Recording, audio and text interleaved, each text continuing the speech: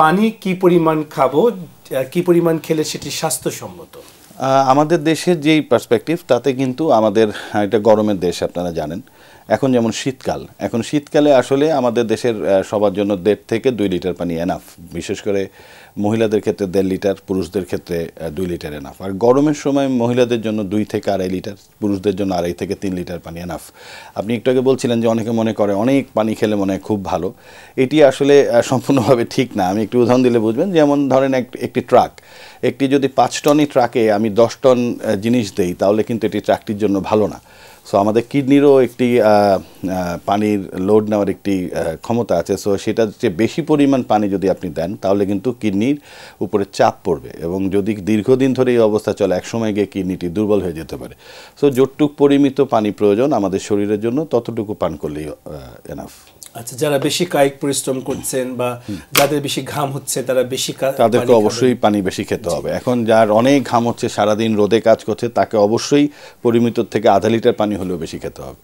আচ্ছা আর যারা কম পরিশ্রম করছেন তারা একটু কম পানি তারা যে? যেটা কিন্তু খুব অতিমাত্রায় পানি খেয়ে এক্সট্রা কোনো বেনিফিট পাওয়া যাবে না বরং ক্ষতি হচ্ছে ক্ষতি হওয়ার চাপ বেশি। আর আমরা যে পানির বদলে অনেক সময় আছে যে কোক খাচ্ছি ফান্টা খাচ্ছি কোমল পানীয় খাচ্ছি এ ব্যাপারে আপনার কোনো পরামর্শ না আসলে যে কোনো ধরনের কোল্ড ড্রিঙ্কস কিংবা এটা সফট ড্রিঙ্কস হ্যাঁ এগুলি তো আপনারা জানেন এটার কিন্তু শুধু কিডনি না এটা বিভিন্নভাবেই শরীরের জন্য কিন্তু এগুলির ভালো কিছু না এবং এগুলো শরীরকে বিভিন্ন জায়গাতেই বরং ক্ষতির পরিমাণটাই বেশি। আর বিশেষ করে এই ধরনের যাদের রেনাল স্টোন থাকে এর আগে একবার পাথর হয়েছে, তাদের কিন্তু আমরা বলি যে আপনি সফট ড্রিঙ্কসটা একদম অ্যাভয়েড করবেন, কারণ এটা থেকে নয়তো আবারও তার কিন্তু ইয়ে হতে পারে আবারও স্টোন হতে পারে। কারণ এই যে এই কোল্ড ড্রিঙ্কসগুলোর মধ্যে প্রচুর পরিমাণ ফসফেট কিংবা ইউরিক অ্যাসিড এগুলো থাকে সো এগুলি কখনোই স্বাস্থ্যের জন্য আমাদের প্রচুর ভাই প্রবাসী আছেন মিডল ইস্ট কান্ট্রিগুলোতে আছেন। তাদের কি রেনাল স্টোন হওয়ার প্রবণতা বেশি? অসম্ভব বেশি এটাই খুবই এটা? গুরুত্বপূর্ণ একটি? প্রশ্ন করেছেন। আসলে ইদানিং আমি দেখছি আমরা দেখছি আমাদের যে রোগীগুলো আসছেন একটা আমাদের মিডল ইস্ট বিশেষ করে আপনার সৌদি আরব কাতার। ওমান মধ্যপ্রাচ্যের যারা আছে।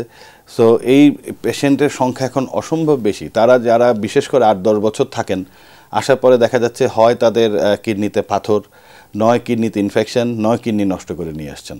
এর মূল কারণ হচ্ছে ওনারা সবাই বলেন যে আমরা প্রচুর পানি খাই যেহেতু গরমের দেশ। কিন্তু আমাদের ধারণা আসলে ওই যে পানিটা ওদের পানিতে মিনারেলস বেশি সেটা আমাদের কিডনিতে আসলে স্যুট করে না আমাদের স্যুট করে না যার কারণে এটা ডিপোজিশন হয়ে যায়। আর যে পরিমাণ পানি হয়তো ওনারা বলছেন আমরা খাই, হয়তো তার চেয়েও বেশি পরিমাণ পানি খাওয়া প্রয়োজন, যেটা হয়তো ওনারা খেয়ে ওঠে না। যার কারণে দেখা যায় যে দীর্ঘদিন থাকার পরে কিডনিতে ইনফেকশন কিংবা একসময় পাথর তৈরি হচ্ছে। যারা প্রবাসী ভাই এই অনুষ্ঠান দেখছেন, তারা সতর্ক থাকবেন, কারণ কিডনি বিশেষজ্ঞরা বলছেন যে তারা প্রচুর রুগী পান, মধ্যপ্রাচ্য থেকে এসেছেন এবং তাদের কিডনিতে পাথর হবার প্রবণতা বেশি। তারা যেন পর্যাপ্ত পানি খান, সেদিকটা খেয়াল রাখবেন।